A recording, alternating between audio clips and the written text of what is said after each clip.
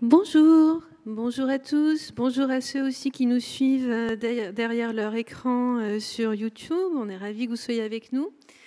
Euh, donc je suis Cécile Bargue et je suis ici car j'ai été co-commissaire d'une exposition consacrée au fonds de dotation Jean-Jacques Lebel au musée d'art de Nantes. Jean-Jacques Lebel étant à ma droite, je vais le présenter brièvement. Alors Jean-Jacques, euh, vous êtes artiste, on vous connaît surtout comme l'auteur du premier happening en Europe en 1960, l'enterrement de la chose de Tinguely. Euh, vous avez fait beaucoup de happenings. Vous avez cessé cette pratique peu après 68. Vous avez été commissaire d'un grand nombre d'expositions. Je fais très vite. Vous avez créé des festivals, le Festival de la libre expression. Vous avez été cofondateur de Polyphonix. Et, euh, en 2013, vous avez eu euh, l'idée, l'envie de créer un fonds de dotation. C'est ce fonds de dotation qui a fait l'objet de l'exposition que nous avons montrée au musée d'art de Nantes. Euh, alors, ce fonds de dotation, concrètement, comprend aujourd'hui un millier d'œuvres. ces œuvres étant de toutes origines, de toutes époques, puisque euh, vous avez le fonds dotation, hein, par exemple, de très beaux dessins de, Victor Hugo, euh, à côté d'œuvres plus contemporaines, notamment liées à Fluxus ou au happening, à votre histoire personnelle. Euh, qu'est-ce qui vous a poussé, Jean-Jacques? Qu'est-ce qui vous a donné envie de créer ce fonds de dotation Je vais essayer de le dire en quelques mots, mais avant, je dois euh, vous dire, chère Cécile, que je me sens très très mal à l'aise d'être là. Euh, c'est trop. Euh, Louis XIII, Philibert Delorme, pour le passé, je ne devrais pas être là. Peut-être vous, mais pas moi. Oh, moi non plus. Moi non plus, je crois que c'est. Ne, serait-ce qu'aujourd'hui, un général, et ensuite un académicien, et maintenant deux anarchistes. Il faut surtout que personne ne pense qu'il y a continuité, parce qu'il n'y en a pas. Il y a discontinuité radicale. Je réponds à votre question sur le fonds de dotation. Et euh, je voulais vous dire, avant de commencer à dialoguer, à recommencer à dialoguer avec vous, parce qu'en fait, on dialogue depuis pas mal de temps et on va continuer. J'étais en train de vous dire tout à l'heure que je suis en, train de lire quelque chose dont je vais vous faire cadeau et que je recommande à toutes les personnes qui, s'intéressent à la pensée artistique, un livre qu'on m'a offert et qui s'appelle Foucault en Californie. Michel Foucault en Californie. Et euh, c'est une longue histoire que je vais résumer en, en une phrase.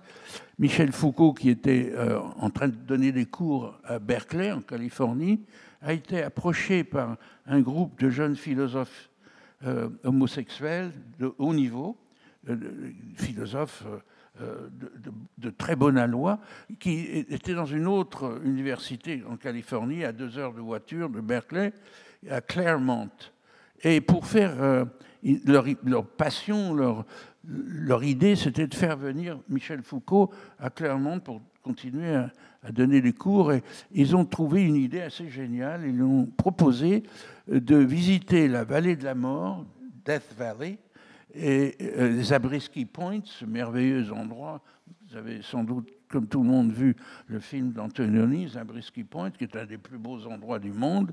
Et que là, ils lui ont proposé de prendre pour la première fois de sa vie du LSD ensemble. Euh, et c'est ce qu'ils ont fait. Ce livre raconte cette aventure psychosociale de haut niveau. Et à un moment donné, euh, ces jeunes euh, philosophes américains posent à Michel Foucault une question très sincère. Et la question, c'est comment se fait-il qu'il, tout d'un coup, apparaissent des génies? Comment, comment ça arrive, ça? Alors, Michel Foucault dit comment?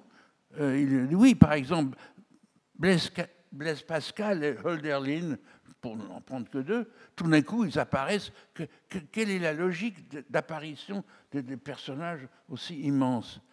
Alors, Michel Foucault défoncés au LSD, leur répond très très gentiment.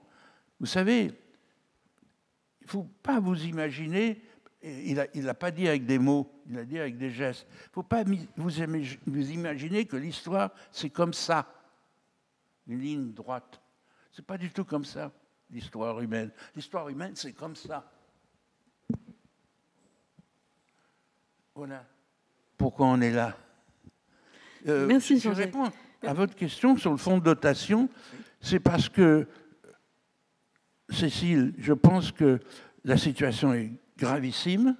Nous sommes dans un système de crétinisation générale euh, qui est un piège monstrueux auquel nous faisons de notre mieux pour y échapper. je ne sais pas si on réussira, mais on essaye.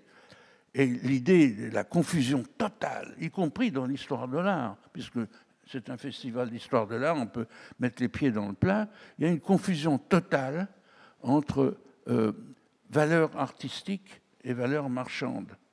Et aujourd'hui, euh, le consumérisme robotisé euh, qu'on subit partout, à Paris et ailleurs, fait on ne considère plus qu'il existe une chose qui s'appelle la valeur artistique, qui soit totalement indépendante de la valeur commerciale. C'est-à-dire que c'est la valeur commerciale qui détermine la valeur artistique. Et c'est très grave. C'est très grave. Alors, une histoire de l'art qui, euh, délibérément ou inconsciemment, euh, reproduit cette escroquerie, euh, fait qu'on ne sait plus de quoi on parle quand on parle d'histoire de l'art. Donc, j'ai pensé, ma réponse est un peu longue, je m'en excuse, qu'il fallait repartir à zéro. Et le, projet mirifique, utopique, bien entendu, du fonds de dotation, c'était d'essayer d'en revenir collectivement à une appréciation des œuvres par leur contenu et pas par leur prix commercial. Ça a l'air de rien, mais c'est complètement et radicalement une autre façon de voir les choses. Euh, donc, en fait, c'est ça le, fonds de dotation. Et puis, euh, euh, surtout, que ce travail soit collectif. On en revient au mm. thème de notre discussion d'aujourd'hui. Il faut que ce soit collectif. C'est-à-dire que euh, bon, par rapport à, la position bien connue de Roland Barthes, n'est-ce pas, euh, l'auteur est remis en question, il l'a été aussi par Duchamp, puisque ce sont les regardeurs qui sont admis faire l'art, en même temps ou après ou avant les artistes. Donc tout ça remet radicalement en question les positions et les propositions.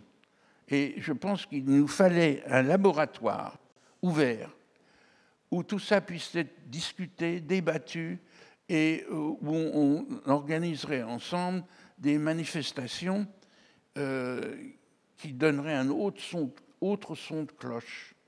C'est ce que nous essayons de faire ensemble. C'est ce qu'on a essayé de faire au, musée de, Nantes. Donc je peux peut-être euh, montrer quelques images maintenant. je vais les commenter très brièvement et je vous redonnerai la parole tout à l'heure, Jean-Jacques. Euh, donc voilà l'entrée de l'exposition euh, et euh, voilà ce que le visiteur découvrait en entrant dans le patio du musée qui renforce ce que vous venez de dire puisque cette grande œuvre en quatre parties est une œuvre collective. En l'occurrence de haut en bas par Peter Sol, vous-même, Camilla Adami et Hérault. un point, donc l'idée de collectif chez vous, elle est centrale. Euh, depuis, euh, on, pense bien sûr au grand tableau antifasciste collectif, mais en fait, euh, depuis, depuis toujours, vous travaillez avec d'autres, vous travaillez en commun. Je crois d'ailleurs que vous avez un projet d'exposition sur l'art de l'amitié à venir, que vous organisez avec Blandine Chavannes. Donc c'est quelque chose vraiment qui vous anime. Euh, et puis, la, structure même de l'exposition, la façon dont nous avons euh, présenté les œuvres les unes euh, avec les autres, chercher à transmettre cette idée que, en fait, rien n'était figé, mais qu'au contraire, on était dans une, dans une sorte de, pensée éclatée, où on a construit cet échafaudage pour voilà, rendre l'idée que rien n'était figé, tout était toujours en chantier, en construction, et aussi euh, pour faire en sorte que, euh, en quelque sorte, les, énergies circulent euh, entre les œuvres et qu'il y ait des rapprochements inopinés qui puissent, qui puissent surgir. Euh, donc je vais montrer quelques images. On va bah, peut-être pas s'arrêter sur toutes. Peut-être dire un mot sur Chiraga. Euh, Jean-Jacques, vous avez envie oui. Chiraga, qui, est la toile rouge à gauche. Euh, Chiraga est un, artiste du groupe Gutai d'Osaka au Japon et bouddhiste. Pratique, il pratique le bouddhisme. Il pratiquait le bouddhisme. Il est mort maintenant. Et il peignait avec ses pieds. C'est-à-dire qu'il mettait la toile par terre et il jetait de la peinture dessus et s'accrochait, il remontait son pantalon et il s'accrochait à une corde et peignait avec ses pieds. Son idée, ce n'était pas du tout une provocation, c'était vraiment, tout ça était profondément pensé.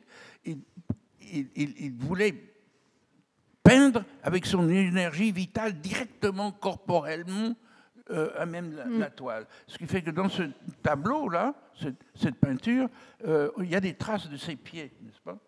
Euh, c'est-à-dire éliminer le pinceau, éliminer toute espèce de passerelle entre le corps de l'artiste, homme ou femme, peu importe, et la toile, et que le, corps fasse corps, justement, avec la toile. C'est l'idée, n'est-ce pas, de, de, de, de, de. Euh, euh, voilà. Et à droite, vous avez un tableau. Alors, nous avons une œuvre de Victor Bronner, un artiste que vous avez euh, bien connu. Euh, donc là, c'est Ubu Monsieur K. C'est fait partie de cette série de, représentations euh, de tous les dictateurs, en fait, une, forme, une sorte de forme archétypale. Bon, simplement pour, pour mémoire, dans le fond de dotation est, également conservé ce grand tableau magnifique cérémonie de 47 qui nous n'avons pas présenté à Nantes parce qu'il était prêté au même moment au Musée d'art moderne de Paris. Euh, bien sûr, Picabia, sur qui vous, à qui vous vous êtes énormément intéressé. Euh, vous avez bien connu euh, Gabrielle Buffet, donc la première épouse de, de Picabia. je crois que c'est au travers d'elle que vous avez approché l'œuvre de Picabia. Vous avez organisé plusieurs expositions sur l'artiste et vous avez notamment des idées que je trouve très justes sur la peinture, euh, sur la série des transparences dont fait partie cette œuvre-là, c'est-à-dire c'est une, une superposition d'images. Euh, et c'est là où ça rejoint un petit peu en Californie, c'est que je crois, Jean-Jacques, vous voyez ça comme une sorte euh, d'hallucination, c'est ça? Comment dire? Oui, alors, Picabia a été deux fois au cours de sa vie en cure de désintoxication. Ce qu'on oublie souvent. En Suisse. Ce qui veut dire qu'il était intoxiqué par quelque chose. Oui. Alors intoxiqué par quoi? Euh, eh bien, il suffit de lire ses poèmes qui sont extraordinaires. Vous savez qu'André Breton, dans les entretiens, dit que c'est Picabia qui a inventé l'écriture automatique. Il a écrit un livre absolument sublime en, 1919 qui s'appelle Penser sans langage. Et c'est une seule phrase. Tout le livre mm. fait une seule phrase, sans ponctuation. C'est vraiment le, le cri, comme dit Artaud, le cri organique de l'homme. Et Picabia est un grand personnage, et dans ses textes, il parle beaucoup d'opium. Alors on peut en déduire hein, qu'il était désintoxiqué de ça. Euh, et je pense que les historiens et historiennes de l'art, jusqu'ici, qui se sont intéressés à Picabia n'ont rien compris, parce qu'ils ne tiennent pas compte de cette, euh, cette expérience physique qui a transformé sa façon de voir et d'entreprendre le travail du regard. Et euh, l'opium fait que euh, les images sont transparentes et derrière chaque image, il y a toujours une autre image, toujours une autre image à l'infini, vous savez, comme ces miroirs qui se reflètent à l'infini. Et je suis persuadé que euh, ça vient de l'opium. Je suis intimement persuadé de ça. Et euh, il y a aussi une autre preuve, c'est dans ce film absolument génial qui s'appelle Entracte, dont vous savez qu'il a écrit ce qu'on appelle le scénario, mais en fait, ce n'est pas du tout un scénario, parce que le film a été improvisé au jour le jour avec René Clair. Et au début, on voit, comme par hasard, Picabia sur le, un toit de Paris, au-dessus du théâtre de la, Comédie des Champs-Élysées, avenue Montaigne. Ils avaient monté un canon et on voit Éric Satie, excusez du peu, et Picabia qui saute en l'air et qui tire au canon. Il tire au canon sur quoi? Sur Picabia, qui est aussi à la réception. Tout ça, c'est l'hallucination absolue de, de l'homme artiste qui est en fait pluriel. Il est devant, derrière, à côté, au-dessus et en dessous. Ah, il est, plusieurs. Ah, c'est sûr que oui, oui, Picabia, il est très nombreux. Ils sont comme très nous tous. Oui, hein. oui, nous sommes tous on est, on est tous Il n'y a pas que les artistes tout à fait. qui sont pluriels. Tous citoyens et toutes citoyennes, tout le monde est pluriel. J'avance, Jean-Jacques?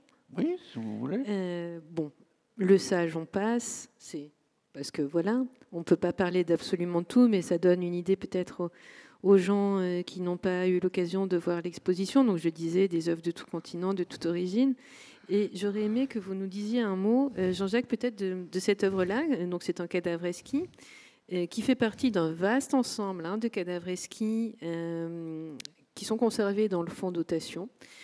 Et lorsque nous préparions cette exposition et qu'on a eu l'occasion à de nombreuses reprises de discuter, vous et moi, je vous ai demandé, euh, vous avez fait une exposition à propos des cadavres esquis, et je vous ai demandé pourquoi cet intérêt. Est-ce que vous-même, vous en aviez fait enfant, euh, puisque bon, votre, euh, vous étiez lié au milieu de près, au milieu surréaliste, puisque vous avez grandi à New York avec André Breton, etc. M'avez dit non, non, non, pas vraiment. En fait, on, on je pas souvenir, on n'en faisait pas. En revanche, et vous me direz si, j'interprète mal vos, propos, en revanche, je me suis intéressée au cadavre esquis plus tard, plutôt dans les années 60, je crois. Et vous m'avez expliqué, euh, donc le principe du cadavre esquis, c'est que n'importe qui peut participer à une création réellement commune. Euh, et dans le processus de création, on a la, possibilité de, sortir des rôles assignés dans, dans la vie quotidienne ensemble. Et donc, vous m'avez expliqué que vous voyez euh, cette pratique du cadavre esquis comme une métaphore de l'action collective. Euh, C'est exactement ça, euh, Cécile. D'ailleurs, ça nous amène à parler de notre exposition future Bien que Blandine Chavannes et moi organisons ensemble pour, dans deux ans, ou dans un an et demi plutôt, au Mucem à Marseille et au musée de Wolfsburg en Allemagne, où il y aura beaucoup de cadavres exquis. Alors, le cadavre exquis, en quoi est-ce que c'est une des actions les plus radicales inventées par les surréalistes, et encore une fois, qui ont complètement échappé aux historiens et aux historiennes? Parce qu'il n'y a, pratiquement jamais eu en France une exposition entière euh, euh, consacré au, cadavre exquis. C'est quand même scandaleux. L'exposition que j'ai organisée, c'était au musée Thyssen à Madrid, où j'en ai montré une centaine. Euh, en quoi est-ce que c'est complètement radical et subverti Pourquoi ça, subvertit, encore une fois, la notion d'auteur et la notion de production artistique? Parce que c'est le contact intersubjectif à l'état pur. C'est-à-dire, d'inconscient à l'inconscient, sans en passer par euh, la raison résonante. Mm. Euh, vous faites un dessin, vous laissez dépasser deux ou trois lignes, vous pliez la page, passez ça à la personne suivante qui n'a pas vu ce que vous avez dessiné et qui continue et qui plie. Et à la fin de la feuille, on déplie et on voit ce que les inconscients ont combiné, euh, je ne dirais pas à l'aveuglette, mais presque. Et c'est à ce moment-là qu'on se rend compte qu'il y a autre chose que la raison résonante dans l'art, heureusement d'ailleurs, on s'en doutait, mais que, euh, si vous voulez, c'est un nouveau mode de production, c'est un nouveau processus de production qui n'a rien à voir ni avec le marché de l'art, ni avec euh, l'éducation artistique. C'est vraiment quelque chose qui, est, euh, qui vient de l'inconscient en état direct. Alors, Blandine et moi, nous travaillons sur une exposition entière sur ce thème, et on, peut quand même en dire deux mots.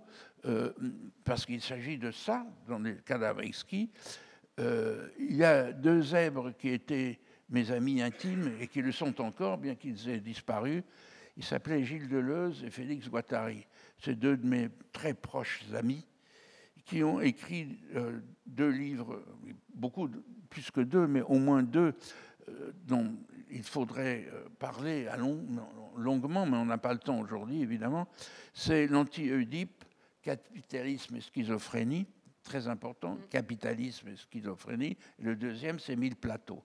Et en gros, dans ces deux livres-là, il est aussi question de quelque chose qui s'appelle l'agencement collectif d'énonciation.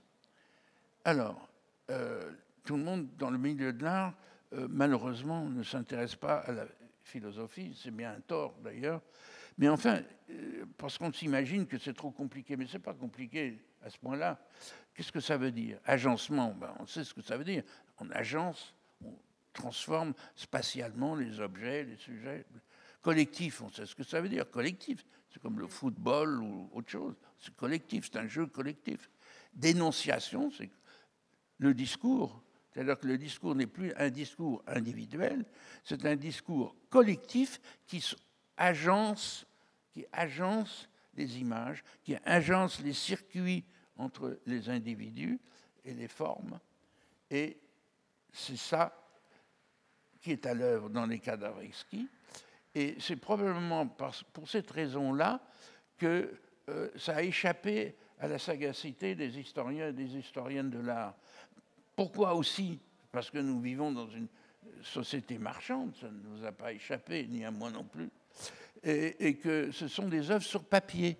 Or, le marché a horreur des œuvres sur papier, alors que c'est très souvent, comme c'est le cas pour les dessins anciens, n'est-ce pas? C'est la même chose pour les dessins contemporains c'est quelquefois sur le papier que ça se passe le, plus intensément. Et en, troisièmement, je m'arrête là, les œuvres n'étaient pas signées. Oui. Donc on ne savait pas qui les avait faites. ce qui est intéressant, c'est le contenu, pas les signatures. Alors, Vous voyez pourquoi Bien ça n'a pas intéressé Bien sûr. les en académiciens. Fait, Et la manière, je vois, Jean-Jacques, dont vous parlez du, des cadavres esquis, en faisant, expliquant très bien ce qu'est un agencement collectif d'énonciation. C'est un petit peu comme si vous décriviez vos happenings quelque part. C'est-à-dire le fonctionnement de vos happenings était celui que vous venez d'expliquer. Absolument. Voilà. Donc peut-être peut-on dire un mot sur euh, votre grande amie euh, Caroline Schneemann, donc qui était présente dans l'exposition de Nantes au travers de son film Midjoy que nous avions emprunté. Euh, donc je crois qu'avec euh, Caroline, vous partagiez euh, une, une passion pour... Ah, qu'est-ce qui se passe? Oui, enfin... Vous partagiez une sorte de passion pour Artaud, etc. Oui. Caroline était une très très grande artiste. Elle est morte l'année mm. dernière à New York.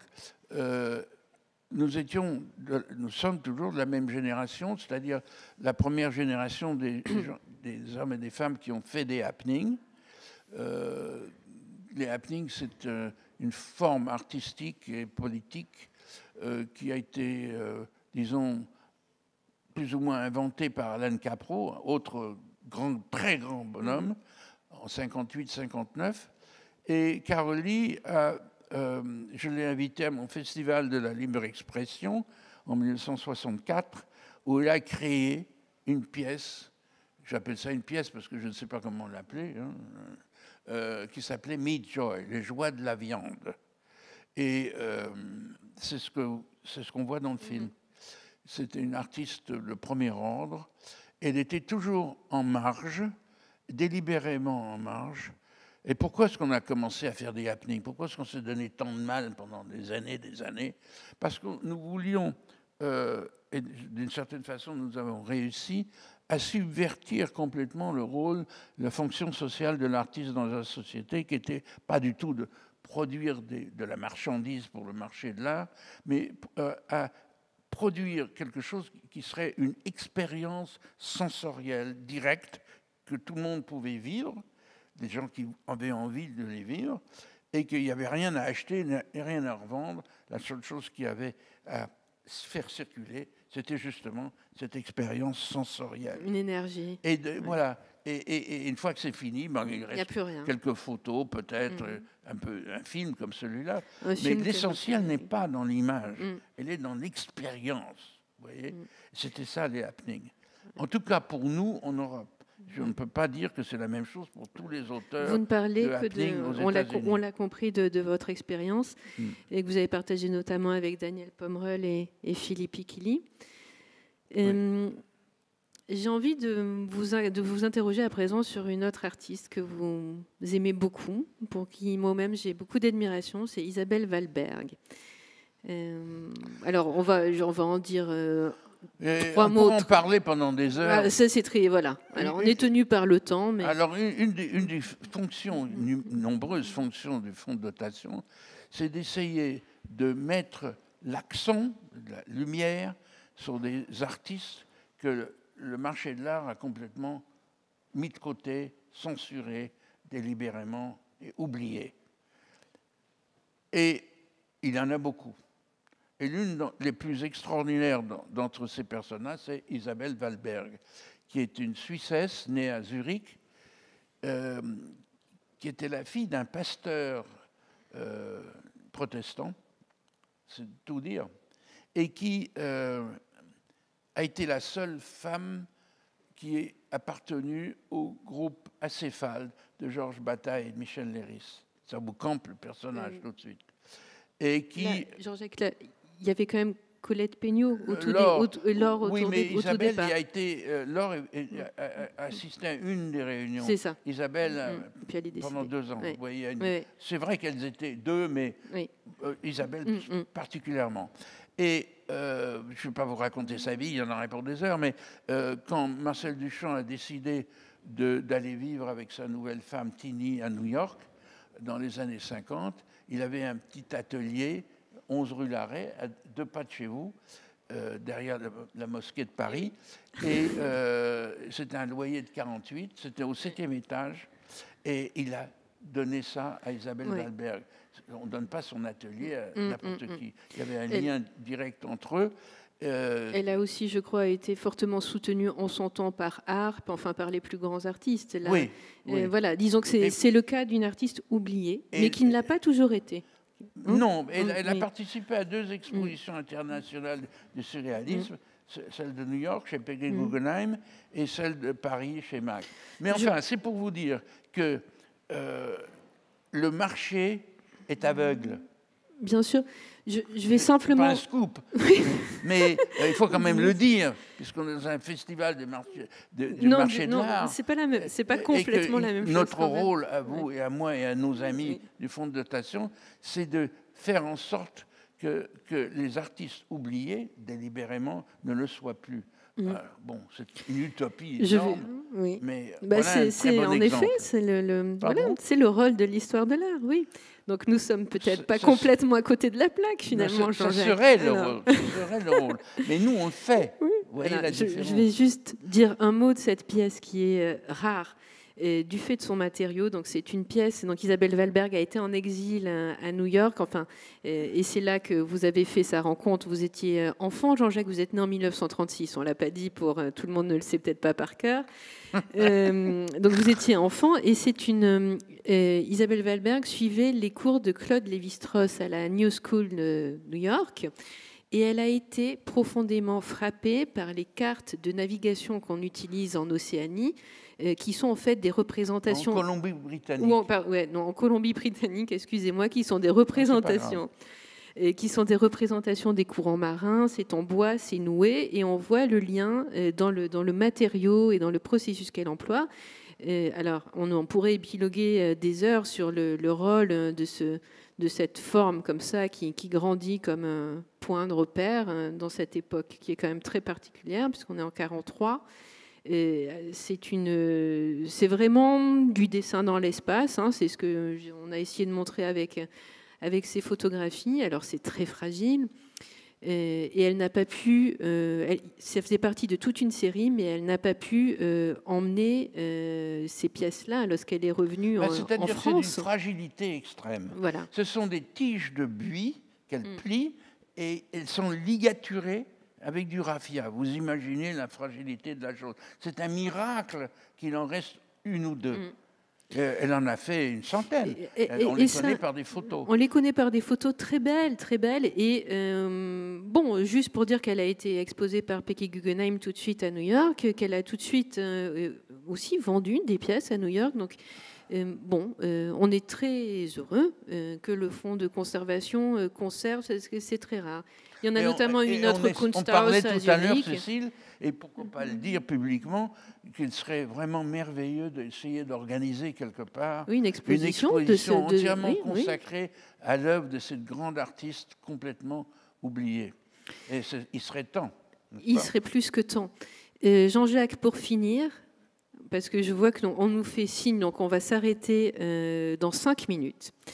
Euh, je dois dire un mot tout de même de la place de Marcel Duchamp à l'intérieur du fonds de dotation et par rapport à vous. puisqu'on parlait d'artistes euh, peu connus, et aujourd'hui Duchamp est tout à fait un artiste connu, c'est tout à fait le contraire. Mais en revanche, ce dont il faut bien avoir conscience, c'est que votre père, donc Robert Lebel, a écrit la première monographie en langue française sur Duchamp en 59, à une époque où Duchamp était on peut dire, inconnu en France, tout à fait inconnu. Donc vous, vous avez assisté à bon, voilà, tout, le, tout le cheminement euh, de la postérité et, de bon, il y a des traces de la proximité de votre père euh, avec euh, Duchamp à l'intérieur du fonds de dotation, notamment toutes ces photographies de votre père avec lui. Celle-ci, c'est dans l'atelier de Duchamp à Neuilly, avec le porte-bouteille. Et le porte-bouteille, de 1921, Hein, qui vient de, donc de chez la sœur de chez Suzanne, de chez la sœur de Duchamp, qu'on ne confond pas avec les rééditions de, 64 euh, par Arturo Schwartz, c'est pas la même chose. Et je crois, Jean-Jacques, que sur cette image, on voit une publication qui vous concerne.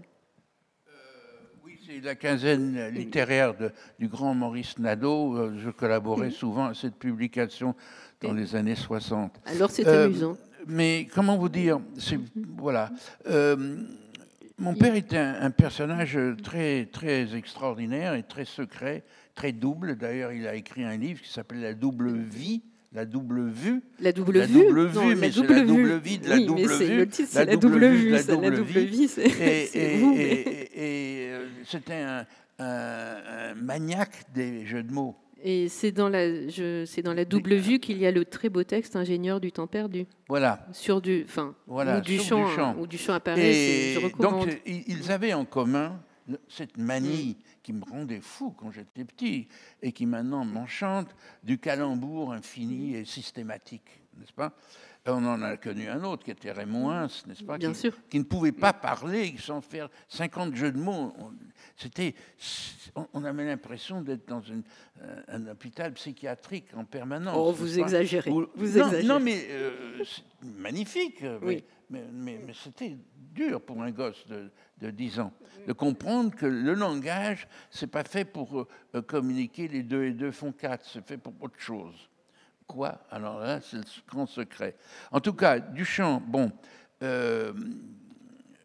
c'est inimaginable pour les gens beaucoup plus jeunes qui ont entre 20 et 40 ans aujourd'hui, de s'imaginer qu'il fut un temps, jusqu'en, grosso modo, jusqu'en 74, où Marcel Duchamp était, comme vous le disiez à l'instant, complètement inconnu.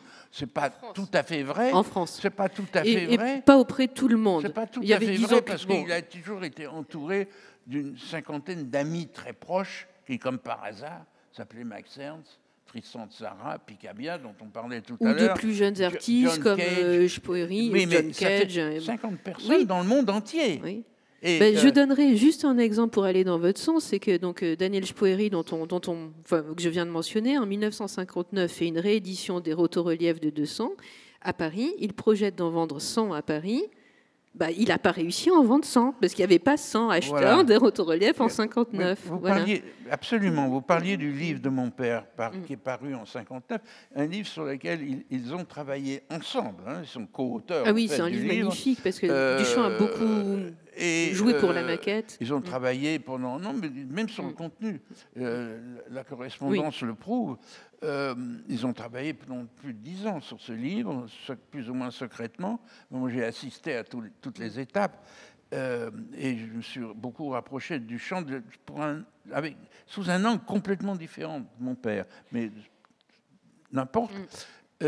Quand le livre est paru, mon père, qui était un critique d'art, un historien de l'art, euh, assez connu à son époque, a écrit à cinq musées importants en France et à une dizaine de musées importants en Angleterre, aux États-Unis, en Allemagne pour proposer la première exposition rétrospective au monde de Marcel Duchamp. À tous ces musées-là. Et aucun musée, aucun directeur ou directrice de musée, c'était surtout des directeurs à l'époque, n'a daigné répondre. C'est-à-dire que tout le monde s'en foutait royalement de Marcel Duchamp. C'est incroyable parce qu'aujourd'hui, euh, tous les élèves des beaux-arts euh, oui, C'est tout, tout et son contraire. C'est d'un extrême à l'autre. ça, n'est-ce pas? On peut aussi ajouter que donc votre exposition, euh, l'exposition de votre père Duchamp, euh, finalement, bon, ben, ça a été une petite exposition à la, dans une très bonne librairie, la une. Oui. Où, ils n'ont pas vendu ce qu'ils avaient prévu.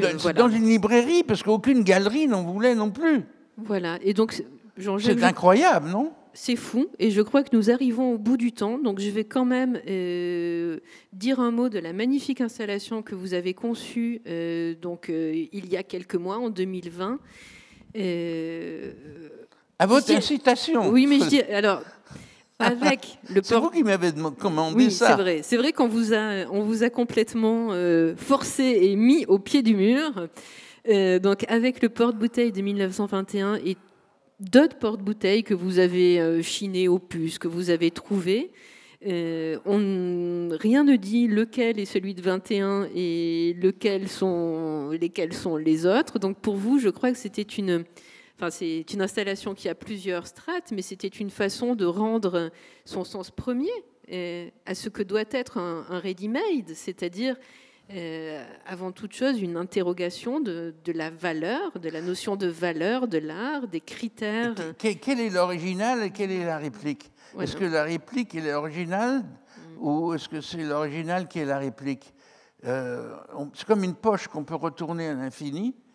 Et non seulement ça, mais ce qui importe, c'est surtout l'éclairage, comme ici par exemple. Vous voyez mm. L'éclairage, c'est-à-dire le regard. Et euh, ce qui est très important et fondamental, encore une fois, c'est une question qui est trop souvent complètement scotomisée, oubliée délibérément dans les musées, c'est que une des fonctions primordiales de la sculpture, c'est de fabriquer des ombres. Voilà. Ce dont Duchamp avait une parfaite conscience. L'essentiel d'une sculpture, c'est l'ombre ou les ombres qu'elle projette. C'est ce que raconte cette installation dont vous parliez à l'instant. Et donc, la question est de revenir au projet initial de la sculpture qui est de produire des ombres. Voilà. Et là, nous avons une grande artiste qui n'est pas oubliée, mais qui, qui a mon âge, qui a un âge canonique, et, euh, mais qui est géniale. Absolument géniale. Esther Ferrer. Une merveilleuse euh, femme, merveilleuse amie, qui s'appelle Esther Ferrer, et vous la voyez là qui vomit littéralement le capitalisme et la bourse, l'argent. Ce qui explique pourquoi euh, toutes ces œuvres ont été données. Il s'agit bien d'un don au fonds de dotation, pour pas en être réduit à vomir tout le temps. Voilà, on a fait le tour de la salle. Mais euh, si vous avez des tomates, c'est le moment, parce qu'on va s'arrêter dans deux minutes pas de tomates. Je crois que s'il y en avait. Euh, Blandine m'a dit qu'elle avait amené des tomates. Oui, oui. C'est le moment de les sortir. Hein. Vous avez 30 secondes pour les tomates et après on rentre. Voilà. Pas de tomates. Pas de tomates. Ben écoutez, il ne nous reste plus qu'à vous remercier d'avoir été avec nous.